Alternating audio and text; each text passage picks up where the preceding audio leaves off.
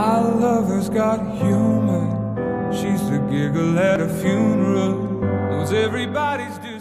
Andrea, ciao. Come sta andando il tuo cammino di- sulla via di San Francesco? Eh, direi che sta andando alla grande, nel senso che sono qui con l'amico Claudio e proprio mezz'ora fa abbiamo concluso la ventesima tappa, è venerdì sera, questo vuol dire che domenica pomeriggio attorno alle 16 arriviamo davanti San Pietro e concludiamo questi quasi 500 km di cammino. Arrivati oggi a, a Monte Libretti abbiamo già cominciato a intravedere la piana che domani arrivati a, Mon- a Monte Rotondo ci ci permetterà di vedere San Pietro. È un cammino questo che ha anche una, mh, così, un aspetto diciamo spirituale religioso oltre che l'aspetto fisico vale un po' per tutti i cammini ma forse per questo in particolare Sicuramente, come tanti altri miei viaggi, l'ho vissuto anche dal punto di vista spirituale perché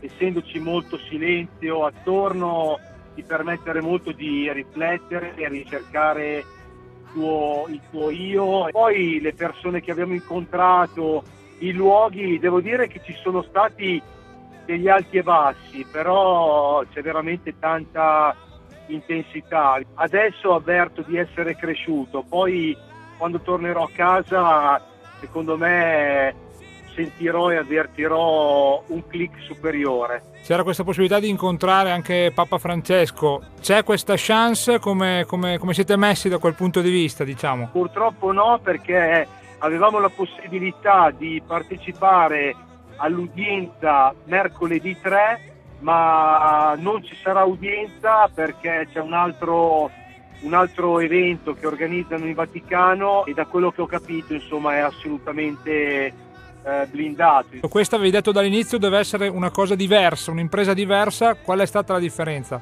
dal Perù del 2016 dove ero andato via eh, completamente da solo per 26 giorni, dove per 17 non ho spiaccicato diciamo, una parola in italiano, qui sono sempre stato in compagnia, ora mi trovo con Claudio, oggi c'era Massimiliano, poi Andrea Baglio che è stato con me tutti i 23 giorni eh, di- fino ad ora, perciò i 22 giorni di cammino, filmando ogni, ogni momento.